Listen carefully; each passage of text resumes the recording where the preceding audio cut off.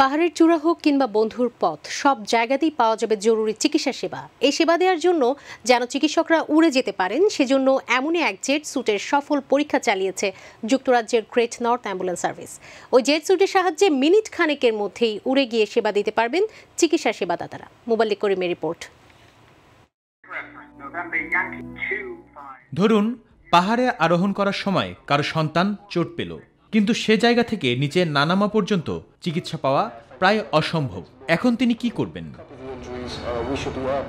এর সমাধান নিয়ে এসেছে যুক্তরাজ্যের গ্রেট নর্থ অ্যাম্বুলেন্স সার্ভিস। তারা এমন একটি জেট স্যুট আবিষ্কার করেছে, যেটি পরে উড়ে যেয়ে সহজে এমন জায়গাতে পৌঁছাতে পারবেন চিকিৎসক। দ্রুত দিতে পারবেন জরুরি সেবা।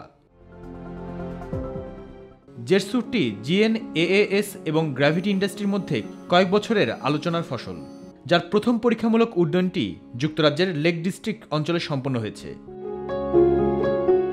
পুরো ব্যাপারটি ধারণকারী এর পরিচালক অ্যান্ডি মনসন বলছেন এর মানে দাঁড়াচ্ছে ত্রিশ মিনিটের হাঁটা পথের জায়গায় একজন প্যারামেডিক মাত্র নব্বই সেকেন্ডের মধ্যে উড়ে পৌঁছাতে পারবেন। Um, and the potential is just স্যুটটির দু হাতের নিচে দুটি ছোট আকারের ইঞ্জিন রয়েছে। আরেকটি ইঞ্জিন রয়েছে পিঠে। ইঞ্জিনগুলোর সাহায্যে শুধু হাত নেড়েই প্যারামেডিকরা নিজেদের চলাফেরা নিয়ন্ত্রণ করতে পারবেন। এর সবচেয়ে বড় সুবিধাটি হলো এর গতি। হয়তো অদূর ভবিষ্যতে অ্যাম্বুলেন্সে করে চিকিৎসকের কাছে নয়, বরং চিকিৎসকরাই উড়ে এসে সেবা দেবেন জরুরি মুহূর্তে। Muballik Karim, my TV.